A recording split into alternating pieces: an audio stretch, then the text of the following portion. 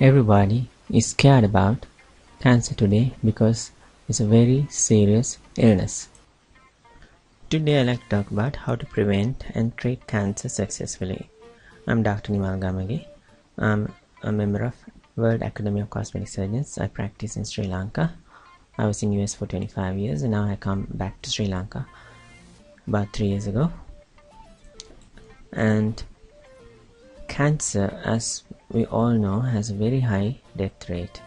Over the last 5 decades the cancer death rates only dropped about 5% whereas we were able to uh, treat the heart disease more successfully and decrease the death rates for by about 64% and in 1900 that's about more than 100 years ago cancer was the sixth leading cause of death. But today it has become the second leading cause of death in america.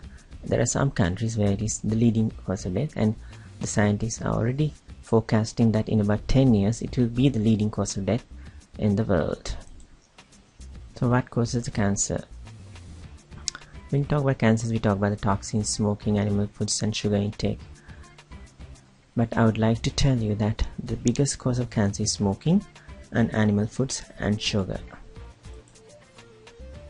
These are the facts. Dairy and meat intake causes breast cancer. A woman in Kenya has 82 times less chance of getting a breast cancer compared to a woman in Cal California or USA. The reason? Because they don't take dairy food or meat. Now, you know, breast cancer is the biggest cancer in women, whereas prostate cancer is the biggest cancer in men. And tobacco intake is also one of the biggest reasons why people die from cancer. And tobacco has 24 carcinogens, but still, our governments have not stopped tobacco usage. Prostate cancer, like I said, is the biggest cancer in men and this is caused by mostly by dairy and meat intake. In 1978, 38,000 people died from prostate cancer in the United States of America, whereas in Japan, only 18 people died during that year. Japan is not a small country, Japan has half the population of USA, so we would have expected about 19,000 deaths in Japan if Japan had the same incidence of prostate deaths as in USA. What was the reason? Why did the Japanese people not get the prostate cancer as much as US people? Main reason was that Japanese people did not take dairy and meat. It's not their genetics because we know when Japanese people move to US and start eating dairy foods and meat, they get the same amount of cancer like the Americans. there was a landmark study which was done in several centers around the world which proved beyond doubt that dairy causes cancer. When rats were given a carcinogen called aflatoxin and they were given different kinds of food, when they were given milk protein, they developed cancer very quickly. Similarly, when they were given other animal proteins, they got cancer as well. But the plant proteins did not promote cancer, although they were given the same toxin. So that there are so many toxins in the environment, and we were told that we take about 100 different toxins every day. Unless we take dairy or meat or other animal foods, we will not grow cancers. And when the proteins were replaced with plant proteins such as beans, uh, dal, and garbanzos, these animals did not develop any cancers. And we also know now high sugar intake is one of the biggest reasons why people get cancer. Because in US especially people have increased the intake of sugar in soft drinks about 41%, fruit drinks about 35%. And in fact it causes obesity. If you take one Coca-Cola can a day, you will gain about 15 pounds in a year.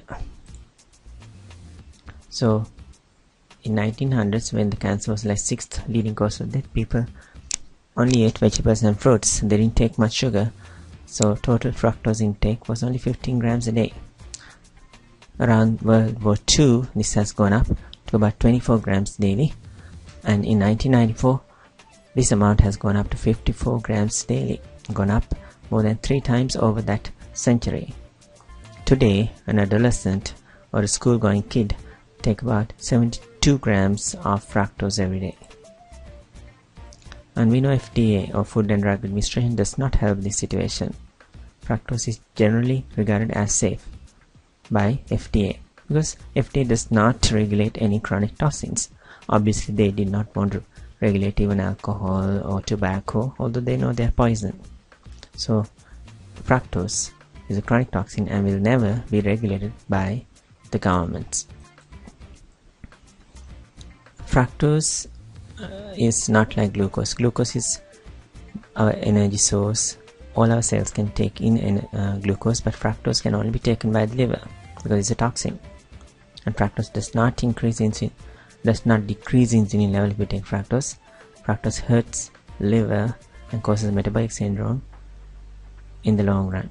So fructose causes obesity, type 2 diabetes, lipid problems, high blood pressure, cardiovascular disease. Similarly, fructose causes cancer. Anything which causes heart disease, decreases circulation, causes cancer.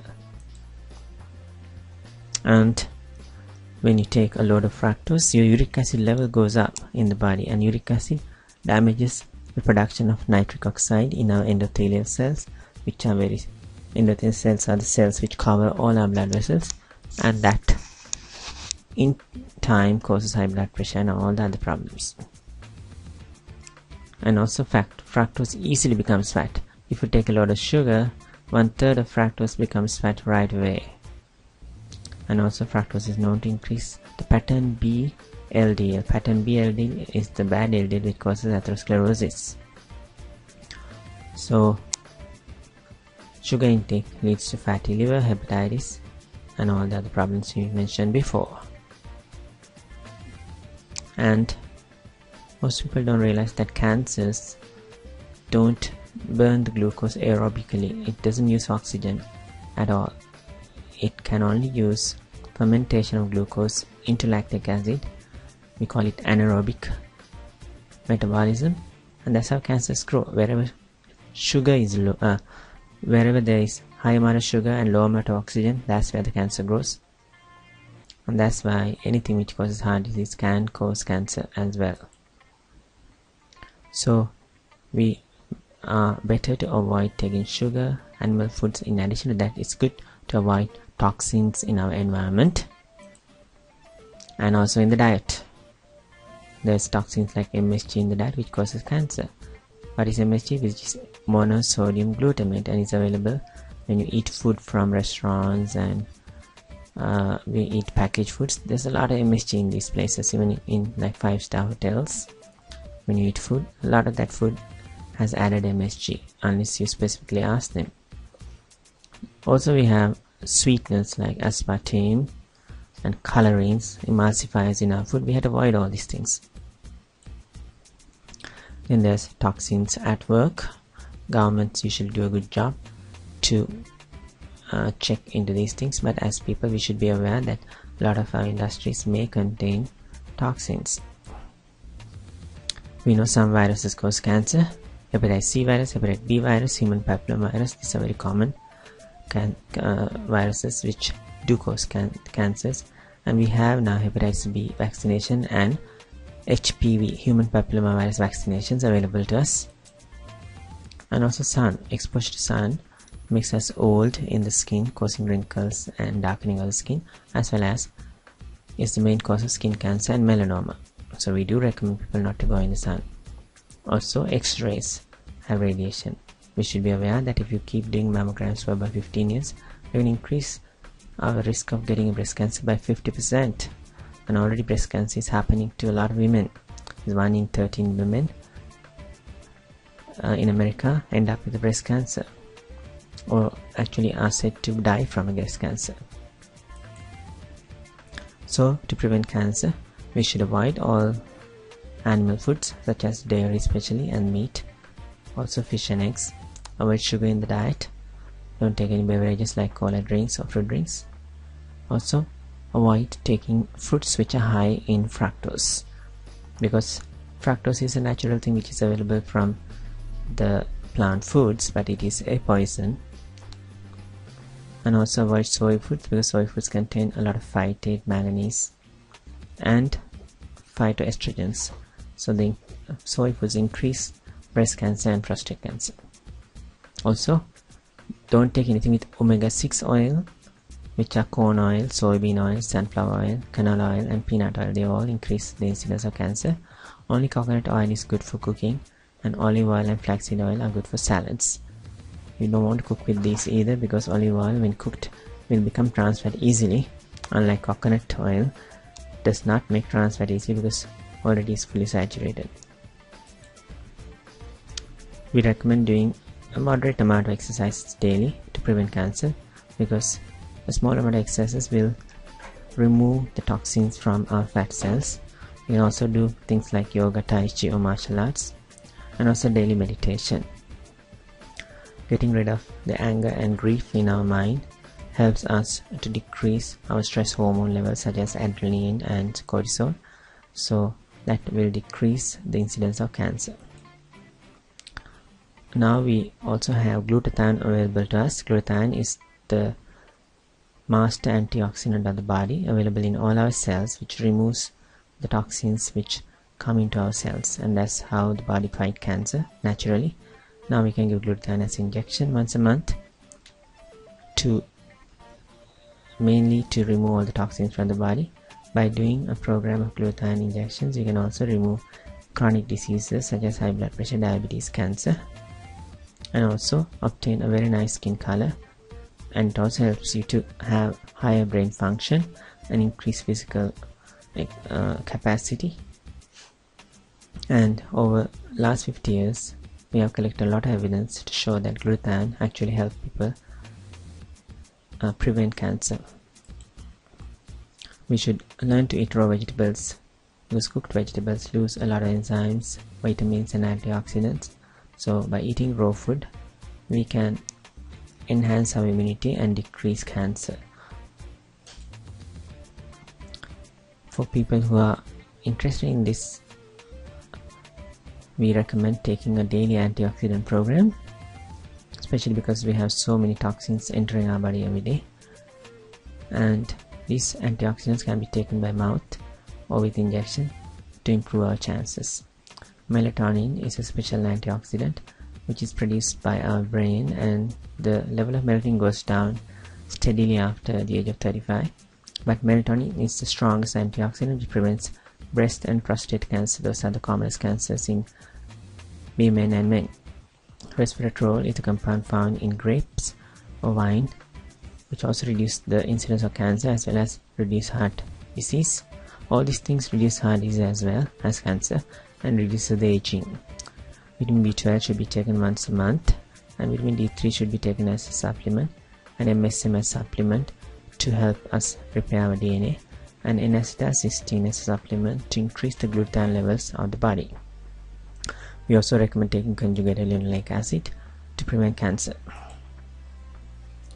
Most people think if they have a good insurance and they have access to a good hospital that they don't have to worry about diseases, but we know that we can't depend on our medical system to help us live longer or prevent cancer because medical system is actually responsible for killing a lot of people every year. In America, medical systems actually kill 210,000 people every year. That's the third leading cause of death in USA today. 80,000 of those people die from infections they get from hospitals and over 100,000 people die from side effects from medications which were actually prescribed by the doctors trying to help people. And as we know, most doctors don't have enough education on nutrition. So if you go to a doctor to try to find out what to eat most of the time you might get wrong information which could be damaging to you. In fact in America doctors are known to live much less than the regular people and if you look at medical schools out of 125 medical schools only 30 schools had a curriculum in nutrition an average doctor only learns about 3 hours it 3 hours on nutrition which is actually the most important thing to prevent cancers and other diseases and they spend hours and hours learning about medications and how to push pills for all kinds of ails which in turn actually kill most people. Chemotherapy, as we know, is the mainstay of our Western medical system for cancer, but they're only effective against three cancers, mainly testicular cancer, some lymphomas, Hodgkin lymphoma, as well as childhood leukemias, and they're thoroughly useless against many of the other cancers. Cancer surgery itself is not that helpful either, because when you surgically remove a cancer, you expedite the process of metastasis because you are breaking up the natural barriers. Also, when the person already had uh, the cancer spread to other areas of the body, we call this metastasis. By removing the primary cancer, you can increase the growth of the secondary cancers. Because primary cancer is known to produce factors which decrease the new blood vessel growth in secondary cancer sites.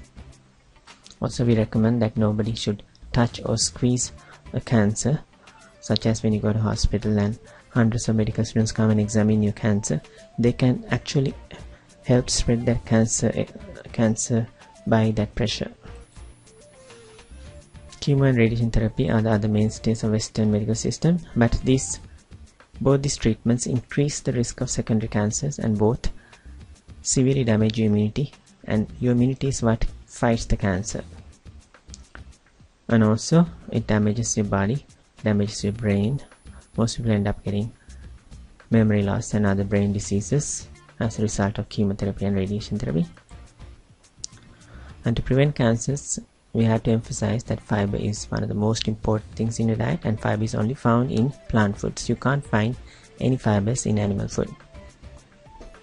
When you take fiber it reduces the rate of absorption of carbohydrates. You, you, so when you take fiber with your food your glucose will be absorbed very slowly and evenly it increases the intestinal transport and reduces your appetite. And also some of the fiber will be converted to free fatty acids by the bacteria in the colon. And these free fatty acids especially the short chain fatty acids are very helpful to suppress insulin level. And we can never rely on the big pharmaceutical companies to help us because they are only driving chemotherapy which is a multi-billion dollar industry for them making a lot of money so they spend a lot of time and money educating doctors how to do chemotherapy and telling the government to make the other forms of treatments illegal. But of course, if we look at the research and the data, we can see that the other forms of treatments can actually cure cancer at a much higher rate. And the FDA will never approve any non-toxic drug, herbal product, vitamin or supplement as a treatment for anything because nobody can make any money out of those things. When talk, talking about cancers we have to talk about liver cancer because there are 400 million people in China who have hepatitis B as a chronic infection. A lot of these people will end up getting liver cancer in the future. And liver cancer will become a big cancer for the entire world and one of the biggest chemotherapy successes in the recent years was Gemzar but it, it only increased the survival of a patient by 1.5 one and a half months. And so a drug company is now making billions of dollars by increasing the lifespan of a cancer patient with by one and a half months when you go to doctor with a cancer your oncologist might say that your tumor is going to respond to this chemotherapy and you might think alright this chemotherapy is going to cure me but that's not what he means he only meant that your tumor will shrink about 50% in about 4 weeks. And the data shows that people who got chemotherapy, out of all the people who got chemotherapy, only 2.1% actually lived beyond 5 years. Everybody else died. But in 1930s and 1940s, Dr. Max Gerson in the United States cured about 50% of the, his patients with a program of vegetable juices, fresh vegetables, organic food, and coffee enemas. And this is a much better rate of cure than what we do today with our Western medicine. And also, today, we can use poly-MVA which is alpha lipoic acid with palladium containing other multivitamins to treat advanced brain cancer and get a 35 40% cure rate. Whereas conventional medicine is only treating and curing only about 2% of the people. Salicinium or Chinese aspirin has also been given intravenous and orally and stage 4 prostate cancers get a response about 85% 85% cure rate on this program similarly Iscador is an extract from the mistletoe plant which is injectable to obtain a 70% cure rate in prostate cancer. When you talk about cancer, it's very important that no cancer patient would should eat any kind of sugars, especially avoid drinks with sugar because sugar is important important sugar is very important for cancers to grow. Cancers don't grow without glucose. And also we need to make sure that we alkalinize our body so we should eat any kind of meat dairy. We should alkalinize our body with a lot of raw vegetables especially with wheatgrass algae or ryegrass and vitamin C if given at a very high dose like 50 grams daily intravenously will help to kill a lot of cancer cells. Vitamin K orally and vitamin D3 are also helpful to boost our immunity when you're trying to fight cancers.